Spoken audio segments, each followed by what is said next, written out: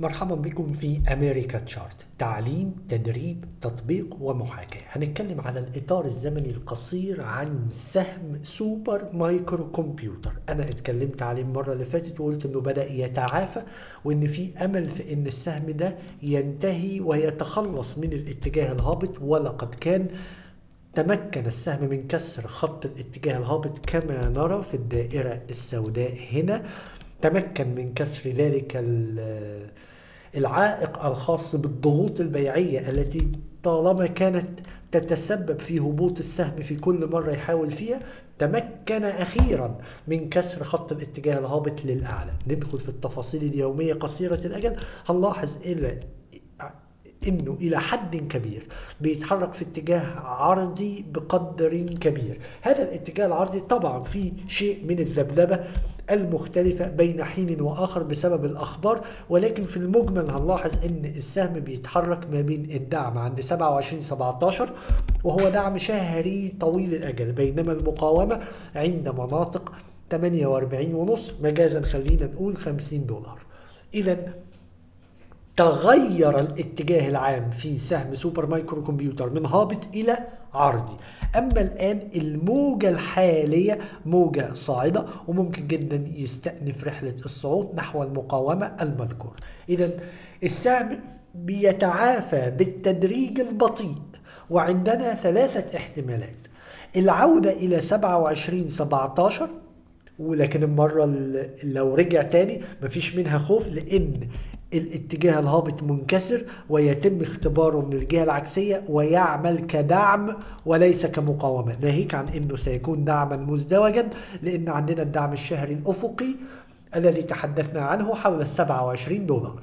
دي أول نقطة. ده أول سيناريو محتمل.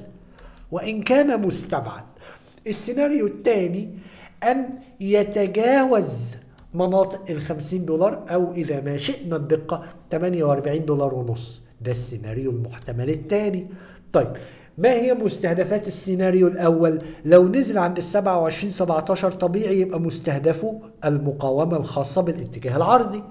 ولو كسر المقاومة الخاصة بالاتجاه العرضي الطبيعي يبقى مستهدفه نفس سمك الاتجاه العرضي. يعني إحنا بنتكلم في تقريبا 20 دولار تمتد للأعلى. يعني بنتكلم في مستهدف تقريبي 68 دولار.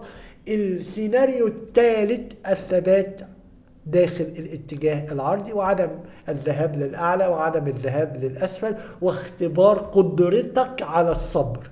هذا هو السيناريو الثالث يعني محتاجين نصبر فيه. ويت وطبعا الصبر بيبقى أصعب قرار في سوق المال على فكرة.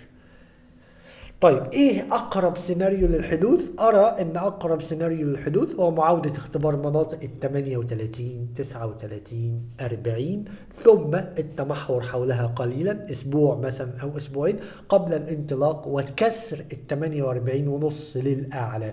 أرجح هذا السيناريو. وبناء على ذلك يستحق المراقبة بذلك الكسر لعل وعسى نتداول ورقيا فيه ونفتح صفقات افتراضية بمستهدفات 68 دولار. صمام الأمان للمراكز الافتراضية المفتوحة طبيعي يبقى تحت السبعة وثلاثين دولار. كسر تلك المستويات للأسفل مع إغلاق ثلاثة أيام متتالية أدعى للتخفيف من المراكز الافتراضية المفتوحة بينما إغلاق أسبوع كامل ربما يكون دعوة للتخارج من المراكز الافتراضية المفتوحة.